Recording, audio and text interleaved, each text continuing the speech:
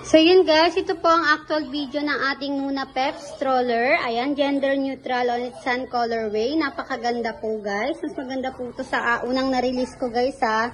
Ito guys, ang ganda ng color niya. Ayan, kita niyo naman. Ayan, ganyan siya. Intak na intak pa po yung Nuna. Sa canopy po, ayan, nakahi... Ngayon po, sa nakikita nyo, nakaano siya full recline. So, pwede po yan sa newborn up to toddler guys. Ayan, higang-higa po yan, pwede sa newborn. Ready to use na po to guys, sa malinis po.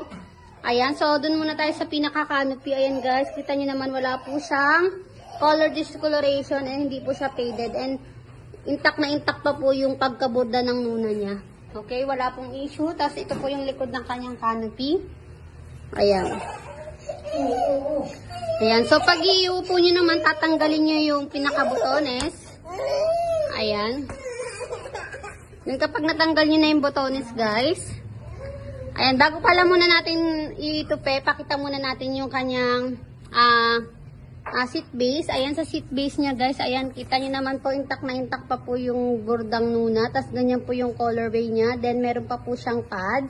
Complete po yan guys ha. Tapos wala pong sira. Wala pong sira yung kanyang belt. Ayan, kompleto po yan.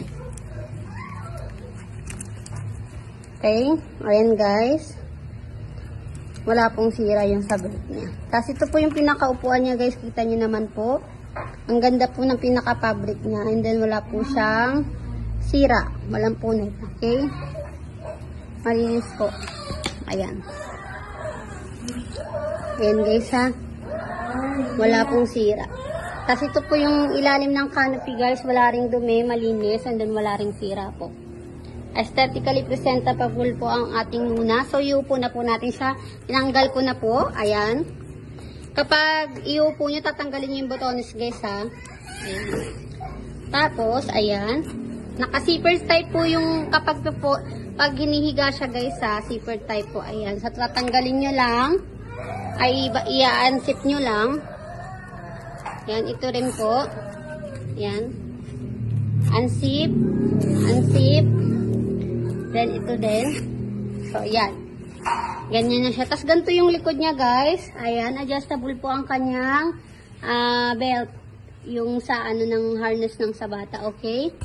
Ayan, pwede pong nakaganyan yung kanyang canopy. Pwede rin yung tanggalin na nakaganyan. So, nakababa to, okay? So, wala pong issue sa ating canopy, pati sa ating seat base. Napakaganda po. Then, next, yung kanyang dito, yung putres naman po, ayan. Yung putres niya wala ring sira guys, wala ring color discoloration. Ayan guys ha, wala po yung punit ha, buong buo pa po, napakaganda pa.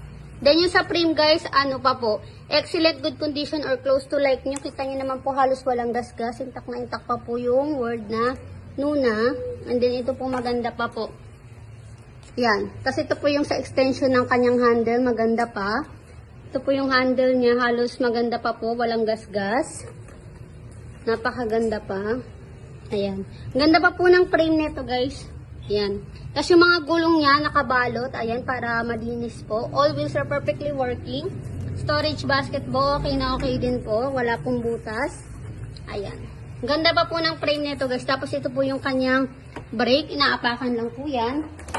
Yan. So, nakastop na po. So, pag iangat naman po, iangat nyo lang po ng ganyan. Okay? Para mag andar siya. Tapos swivel wheels. Tapos pag itutupi nyo po, ganito lang po. Ibababa nyo lang po itong handle. Yan. Wait.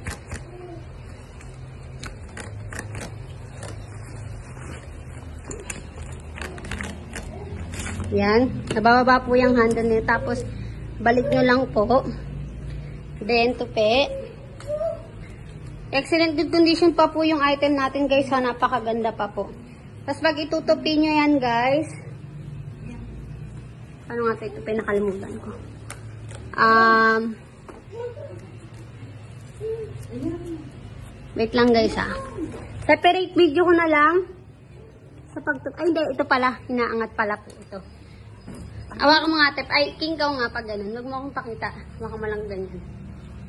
Yan, sa pagtupi naman, ta ganyan. May dalawang gilid dito. Tapos, igaganyan nyo lang. Para ka lang nagpupuna. Okay? Yan, tapos malalak na yan dito, meron yan dito. Para rin isang ride-on guys, ha, pwede pong ride-on. Ito lang yung pang-lock. Yan. Gaganon mo lang. Yan. Yan. Para siyang ride-on guys ha. Pwede siyang sakyan ng bata. Tapos ganyan gulong-gulungan. Ito po yung lock niya. Tapos pag bubuksan mo naman guys, tatanggalin mo lang to. Then open lang. Ganun lang siya kadali.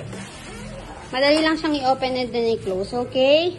Ayan. Napakaganda po ng ating Nuna ha. Ganda po ng color niya. Pwede sa babae, pwede sa lalaki. Thank you so much.